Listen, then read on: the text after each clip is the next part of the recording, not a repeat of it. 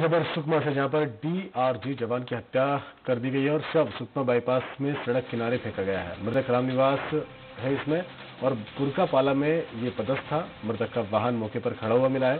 Police ने इस पूरे मामले की जाँच पड़ताल शुरू कर दी है। बड़ी खबर इस वक्त की आपको बता दें कि इस पूरे मामले में पुलिस जुट चुकी है और डीआरजी जवान की हत्या का पूरा मामला है। शव सुषमा बाईपास के पास सड़क के किनारे फेंका गया है और ये मृतक जवान राम निवास का है, जो बुरकापाला में पदस्थ था। मृतक का वाहन मौके पर खड़ा हुआ मिला है। अब पुलिस इस पूरे मामले की पड़ताल में जुट गई है। डीआरजी का जवान की हत्या कर दी गई है और शव सुकमा बाईपास के पास सड़क के किनारे मिला है और जो पुलिस का जवान उसका नाम राम निवास है। और पुलिस अब उस मामले की जाँच पड़ताल में जुट गई है।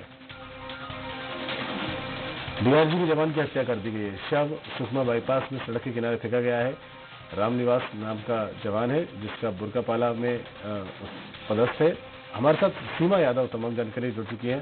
सीमा जवान की हत्या कर दी जाती है। क्या माना जा रहा है कि ये जो एरिया है, वो नक्सली प्रभावित एरिया माना जाता है? तो क्या क्या नक्सली द्वारा वारदात को अंजाम दिया गया है या फिर कोई और वजह है? जी, मैं आपको बता दूँ कि पुलिस जाँच में जुटी हुई है और प्रथम दृष्टिया इसे नक्सली मामला भी माना जा रहा है। हालाँकि शहर के नज़दीक था ये सुकमा के एक सूपनार जगह है जहाँ पर इसे मार के सड़क के किनारे फेंक दिया गया। तो अभी कुछ भी कहना मुश्किल है। हालाँकि पुलिस जाँच में जुटी है और जल्दी खुलासा करने की बात कह रही है। जी। चलिए ये माना जाए कि ये नक्सली का हमला भी हो सकता है। बहरहाल पुलिस का इस बारे में क्या कुछ कहना है? जी पुलिस इस समय जाँच में जुटी हुई है और आपको बता दूँ कि यह सुकमा लाइन में अटैच था डीआरजी का जवान जो कि बीती रात इसकी हत्या कर दी गई और सड़क के किनारे फेंक दी गई और हालाँकि अभी इस बारे में पुलिस कुछ कहने से बच रही है, लेकिन जाँच में जुटी और जल्द ही कुछ न कुछ खुलासा करने की बात कह रही है, जी। चलिए शिवा जी, आपका बहुत बहुत धन्यवाद इस तमाम जानकारी के लिए।